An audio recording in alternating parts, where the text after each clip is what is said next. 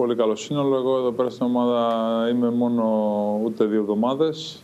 Ε, προσπαθώ να προσαρμοστώ όσο πιο γρήγορα γίνεται. Οι παίχτες και οι ξένοι και οι Έλληνες είναι, έχουν βρει το δρόμο και όπως είπες και ο προπονητής ε, ξέρει ακριβώς τι πρέπει να κάνουμε και τι μας δίνει τι, πώς να αντιμετωπίσουμε τον αντίπαλο και τα πάμε μια χαρά. Ε, Παρ' όλα αυτά, ε, όπως είπες και εσύ, πάρα πολύ λίγο χρόνο στην ομάδα. Κατάφερες μέσα σε δύο εβδομάδες να έχεις διψήφιο αριθμό πόντων. Σημαντική συνεισφορά στην αλλαγή της εικόνας της ομάδας του Απόλυνα και μια αλλαγή στην εικόνα της ομάδας που έφτασε μέχρι να βρίσκεται η ομάδα ε, στις θέσεις που οδηγούν στα playoff. Είναι και ένας ε, στόχος που σίγουρα στην αρχή της χρονιάς, έτσι όπως πήγαινε το πρωτάθλημα, δεν το σκεφτόντουσαν οι άνθρωποι του Απόλυνα. Υπήρχαν αρκετές δυσκολίες. Παρ' όλα αυτά, ε, φαίνεται σιγά σιγά η ομάδα να βρίσκει τον ε, ρυθμό της. Ακριβώς. Ήταν εντάξει, οι ομάδες αυτές πέρα από τις 4-5 μεγάλες, οι υπόλοιπες έχουν βλέψεις εκεί playoff ή να σωθούν πιο γρήγορα.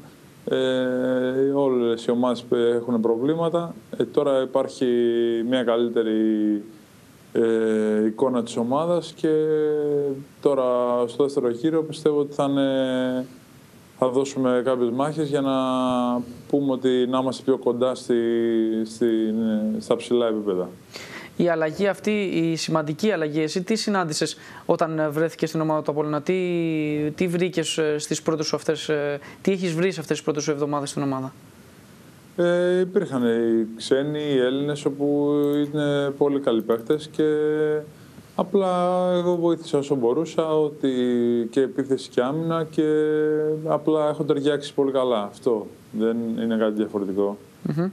Εσύ ε, γνωρίζοντας και την ε, πόλη της Πάτρας, γνωρίζοντας και τη δυναμική ενός συλλόγου όπως είναι ο Απόλλωνας, τι πιστεύεις ότι πρέπει να γίνει για να συνεχίσει η ομάδα τις καλές εμφανίσεις, να συνεχίσει τις νίκες στο πρωτάθλημα και να καταφέρει φυσικά να είναι ανταγωνιστική; Ναι, είναι αυτό ακριβώς. Ε, πρώτα απ' όλα χρειαζόμαστε να φέρουμε πάλι τον κόσμο στο γήπεδο γιατί έρχεται ο κόσμος, απλά ε, όλοι και οι παίκτες και η διοίκηση όλοι χρειάζονται να είναι πιο κοντά ο κόσμος και να αγαπήσει την ομάδα όπως ήταν πριν 2-3 χρόνια που ήταν πιο πολύ γεμάτο το γήπεδο.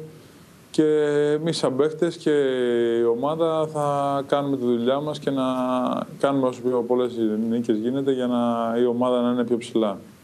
Ε, Φωτή, εσύ έχεις παίξει και σε άλλο πρωτάθλημα και στο πρωτάθλημα της Ισπανίας όπου είχες μια σημαντική παρουσία. Γνωρίζεις λοιπόν εκεί πώς ήταν τα πράγματα; Ο κόσμος εκεί γέμιζε το, το γήπεδο γενικώς πήγαινε να δει μπάσκετ; Πήγαινε και πάρα πολύ. Είτε μπάσκετ, είτε ποδόσφαιρο, τον αθλητισμό τον αγαπάνε. Ε, απλά υπήρχαν διαφορετικοί τρόποι ώστε να τραβήξουν τον κόσμο στο γήπεδο με, είτε με τα παιδιά, είτε με τους γονείς, ε, με όλα αυτά τα πράγματα που εδώ πέρα στην Ελλάδα είναι λίγο διαφορετικά.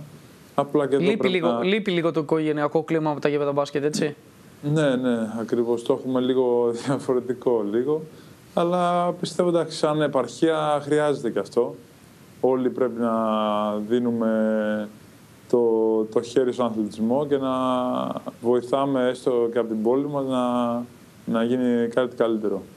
Ε, στο ξεκίνημα της χρονιάς βρέθηκες και στην ομάδα του Αρκαδικού. Ε, εκεί, ποιο είναι το σχολείο σου για την ομάδα και την προσπάθειά της για να παραμείνει στην ε, κατηγορία αυτό που παλεύει ο Αρκαδικός; Ναι, ε, είναι μια πολύ καλά οργανωμένη ομάδα. Ε, έχει τις βλέψεις, αλλά όλες οι μεσαίες ομάδες, όπως ο Απόλυνα, το Ρέθιμο, διάφορες ομάδες έχουν δυναμώσει αρκετά και είναι μάχη. Κάθε μάτς είναι επικίνδυνο πλέον για, γιατί ο καθένας θέλει να κερδίσει και να έχει την παραμονή όσο πιο γρήγορα γίνεται. Είδαμε και το Λαύριο ότι ενισχύθηκε πάρα πολύ στα τελευταία παιχνίδια. Έχει πολύ διαφορετική εικόνα από ό,τι στο ξεκίνημα της ε, χρονιάς. σω δούμε και έναν δεύτερο γύρο πολύ πιο διαφορετικό στο, στην Basket League, έτσι.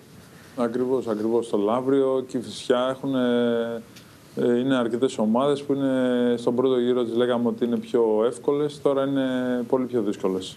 Για τον Απόλυνα, εσύ τι πιστεύεις ότι πρέπει να κάνει και στα υπόλοιπα παιχνίδια, τι πιστεύεις ότι πρέπει να, να κοιτάει σε κάθε μάτς, καθώς όπως είπες και εσύ, έχει να αντιμετωπίσει πάντα ε, πολύ δυνατούς αντιπάλους; Ακριβώς. Ε, κάθε μάτς ε, το κοιτάμε ξεχωριστά και αυτό κάθε εβδομάδα όσο ό,τι καλύτερο αποτέλεσμα μπορούμε να πάρουμε αυτό βλέπουμε. Ε, βελτιώνουμε την άμυνά μας και προχωράμε.